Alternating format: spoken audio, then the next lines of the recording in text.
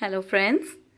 Today I'm reading Class 5, Chapter 2 Teamwork. Do you like to work and play with others? Let's sing and dance. Teamwork, teamwork. Together we can make our dream work.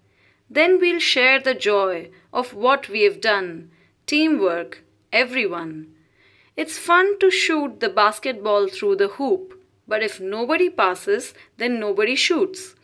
And the relay race just can't go on if nobody wants to pass the baton. We're the parts that make up the whole, and we've got our eyes on a common goal. Sometimes it can be a big plus when a you or a me becomes an us. Poems like these are really fun to read. If you found this useful, please like, share, and subscribe to the channel, and also hit the notification button so that you never miss any more videos from this channel. And thanks for listening.